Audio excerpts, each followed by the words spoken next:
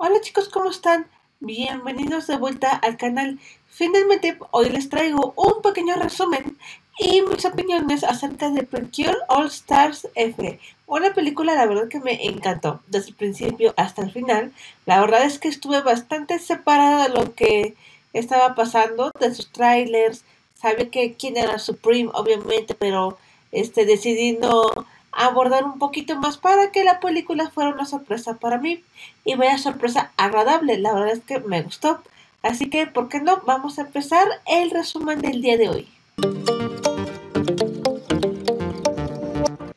Después de lo que parece ser eh, un sueño donde se separa de alguien, aunque intentan estar siempre juntas, Sora es, eh, se despierta en un campo ella sola antes de que pueda preguntarse dónde está y dónde están sus amigas, alguien la ataca, un monstruo. Pero antes de que pueda reaccionar y poder convertirse en Cure Sky, Sora es protegida y defendida por dos personitas que conocemos bastante bien. Dos personitas que la defienden, la ayudan y aunque parece ser que están en problemas, intentan hacerlo mejor. Estas personitas son Cure Summer y Cure Precious personajes que la verdad es que me encantan como líderes e incluso si ustedes son bastante antiguos en este canal, sabrán que yo ya hice los resúmenes, resúmenes de sus temporadas anteriormente. Como ya les dije, se han este, metido en problemas porque al parecer este monstruo es bastante fuerte. Por lo que Sora, decidida, ya la conocemos bastante bien, decide ayudarlas aunque no están seguras de este asunto, de este asunto, Sora enfrente de ellas se puede transformar en Cure Sky y les puede ayudar. Esto hace que finalmente logren vencer al monstruo y logren estar bien. Después de la tormenta viene la calma y nos damos cuenta que obviamente cada una de ellas está separada de sus amigas y de su grupo, por lo que es importante reencontrarse con sus respectivas amigas y saber por qué están ahí.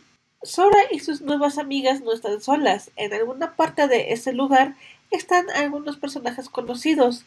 Parece ser que en el centro está el pueblo y un castillo, por lo que deciden empezar a caminar para este, encontrarse ahí, porque creen que van a encontrar a sus amigas ahí. Y no solamente eso, sino el villano principal, que les lanzó esos enemigos y que puede tener respuestas. En el camino conocerán a una personita que estará peleando también, que es conocida como Cure Supreme, un misterioso personaje cuyo nombre verdadero es Prim. Y la verdad es que este personaje es bastante misterioso, este bastante serio. La verdad es que desde el principio noté algo extraño en este personaje, pero como les dije, no hay que separarnos, va a este, adelantarnos, sino que vamos a ver poco a poco cómo se estarán. La película nos presenta cuatro equipos. Por ejemplo, también tenemos el equipo de Mashiro, donde podemos conocer a Laura, la sirena, y también podemos conocer a Amane. ¿Se acuerdan de Amane? me encanta ella. Siempre para mí va a ser ella Cure Perfect 2.0. Pero bueno, eh, también conoceremos que están eh, conociendo también este, este lugar y también deciden ir al castillo. Durante el viaje conocen a un cuarto personaje, Nodoka, que está buscando también a su hada, un hadita llamada Labyrinth, que si ustedes no saben, comparte la voz y tiene una voz muy similar a la de Mashiron por lo que se me hace muy curioso que Nodoka y Mashiron estén en el mismo equipo. Yo ya hice una curiosidad acerca de estos personajes y por qué comparten una voz tan similar.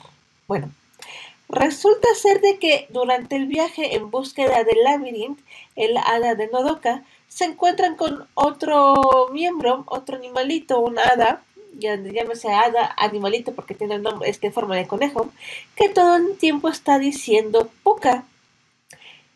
Esta hada poca es llamada así por Mashiro porque es lo único que dice.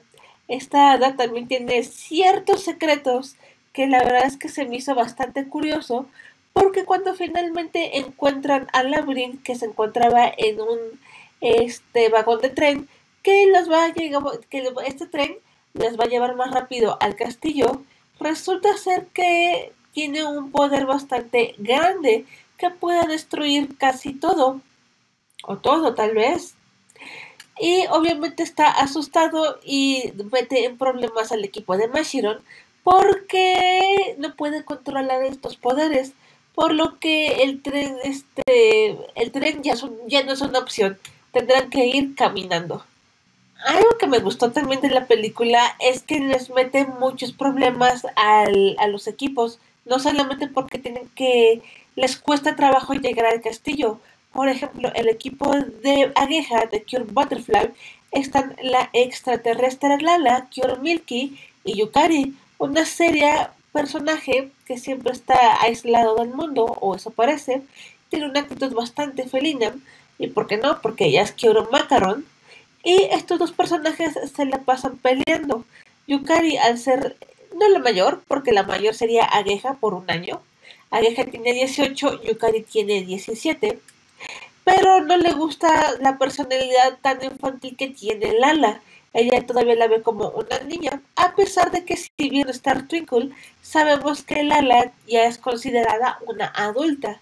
Pero este equipo realmente tiene muchos problemas, no solamente porque no pueden llegar al objetivo del castillo, sino porque se separan y están en un terreno con nieve, por lo que tienen que encontrar a Yukari y hacer las paces para que puedan avanzar.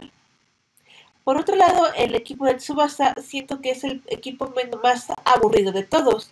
Por alguna extraña razón, él tiene a la princesita Elle, que por alguna razón toda la película va a estar transformada en una bebé, no se va a transformar en Majesty. Y esto lo digo porque es importante, no me vayan a decir con la, con la idea de ay, es que todavía no se había transformado en Majesty, y es que todavía sí, ya se puede transformar en Majesty, simplemente no quiso, no quiso ayudarle a Tsubasa. Pero lo que me gusta de Tsubasa es que reconoce a Haruka como una auténtica princesa. Cuando la ve peleando y eliminando al monstruo con su clásico Goki Genyo, me encanta esa, pase, esa pose la reconoce como una princesa y esto hace avergonzar a Haruka. Así que a partir de este momento los cuatro equipos van a seguir avanzando poco a poco hasta que finalmente llegan a, la ciudad, una ciudad bastante extraña donde parece que las personas este, están en modo automático, parecen robots programadas simplemente para estar ahí y esto es bastante extraño. Los primeros equipos en llegar es el de Mashiro y el de Sora. Y esto hace que tanto Puka como Prim se reencuentran y aparece nuevamente el problema. Resulta ser de que Puka le tiene bastante miedo a Prim por alguna extraña razón. Prim se ve bastante fría y le dice ¿por qué se sigues aquí? Lo que hace que la pobradita, el pobre conejito, se ponga nervioso, cree un hueco el equipo de Sora se vaya a alguna parte. Antes de que se separen nuevamente, Bashiro y Sora prometen que se van a ir al castillo a reencontrarse con los demás equipos. Uh, curiosamente, los equipos de Tsubasa y de Ageha llegan al, a esa ciudad este, este, justo a tiempo, la casualidad de la vida. Para no hacer el cuento largo, resulta ser de que todo este tiempo Prim fue la villana principal.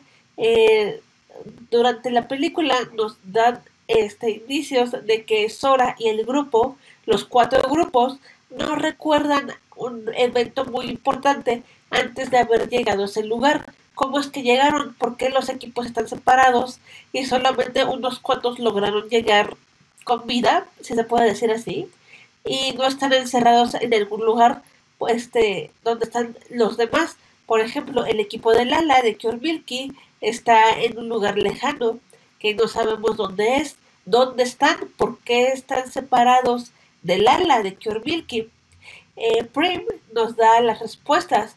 Resulta ser que ella, a lo mejor ella, él, no sé cómo decirle, la verdad es que dice pronombres masculinos, se ve como mujer, así que Bueno, resulta ser de que ella, vamos a decirle ella, creo que no le va a importar, este, estaba buscando un poder en el universo y ese poder lo encontró en el planeta donde viven las Precure, por lo que decidió imitarlas, imitar su poder y de esa manera logró convertirse en Cure Supreme.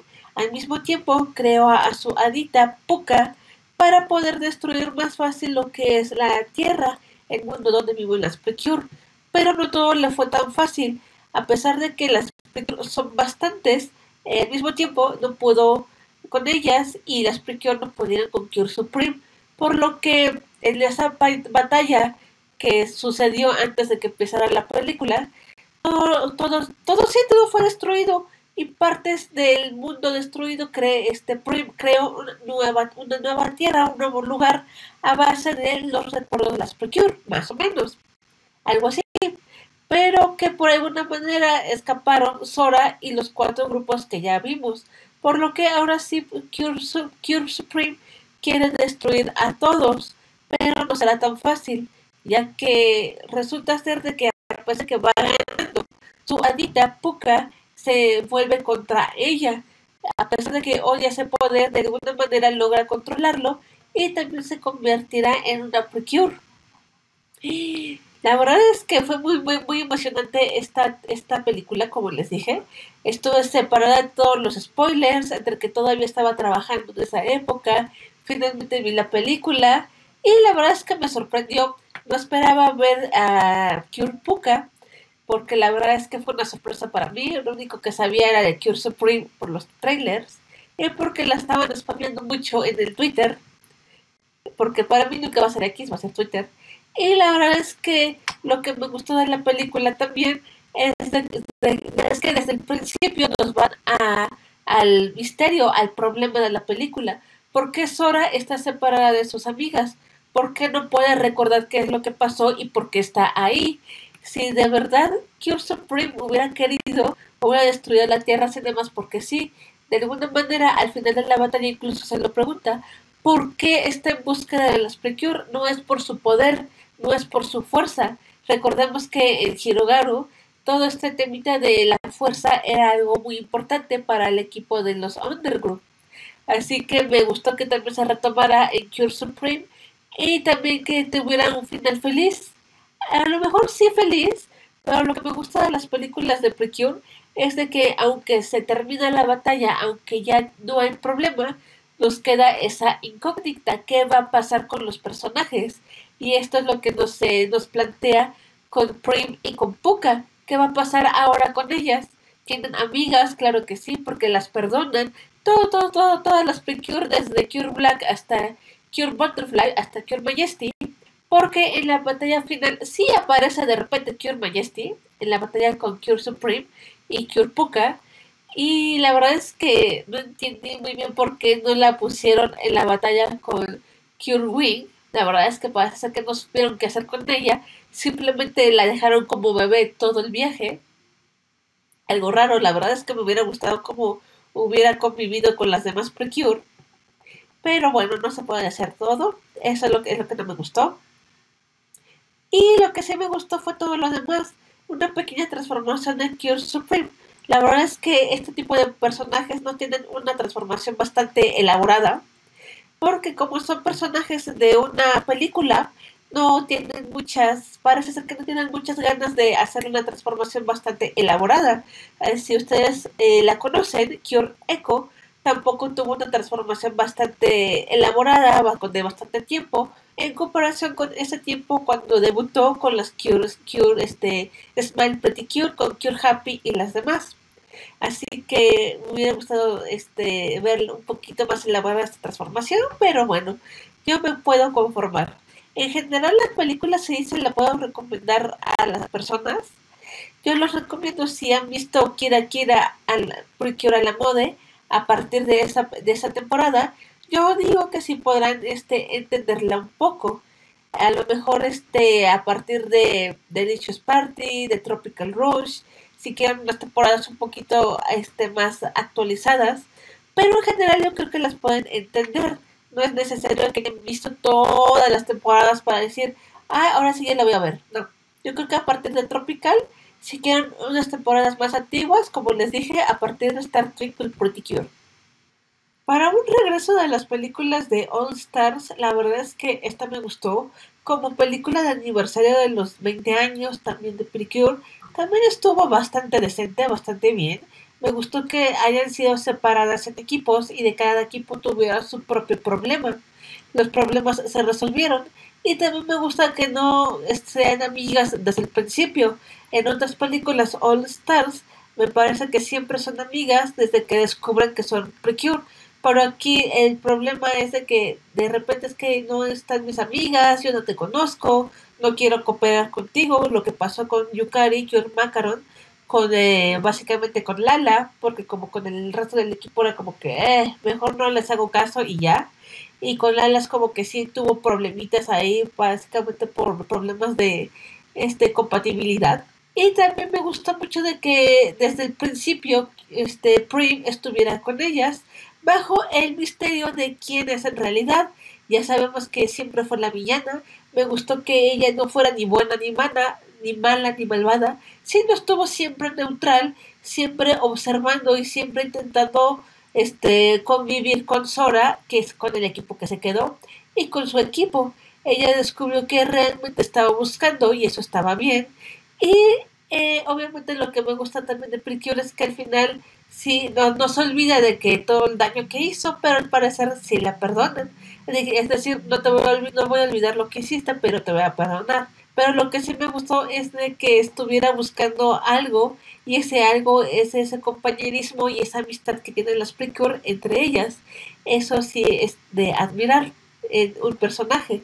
Quiero ser como ellas, pero no puedo ser, no puedo imitarlas, pero no puedo imitarlas en poder, en fuerza, pero sí en sus valores, en su amistad. Eso es lo que descubre, eso sí es lo que descubre Prim y Puka. Y un futuro nuevo que pueden intentar. Y díganme, ahora sí, antes de acabar este video, ¿ya lo vieron? ¿Ya vieron la película? A mí, este, ¿cuánto, este, si les gustó o no les gustó? Yo en general, si le pudiera dar un número, le daría un 7, un 8 sobre 10. Una película que podría volver a ver una segunda o tercera vez. Así que ya, sin nada más que decir, la verdad, para no alargar este video, lo dejaremos hasta aquí. ¿Te gustó eh, Cure Supreme como personaje? A mí sí, la verdad. Y también, aunque Puka no fue de mi agrado, la verdad es que me gustó también como personaje. Como al principio no podía controlar su poder y era un poquito miedoso, y tuvo que sobreponer todo esto para defender lo que es sus ideales, lo que él quería. Así que bueno, ahora sí, sin nada más que decir, mi nombre es Salma Hernández. Nos estaremos viendo en futuras entregas de Wonderful Precure. Y si se puede, próximamente con nuevos top 5. No tengo ninguno todavía, pero espero prepararlos pronto. Así que, bye bye.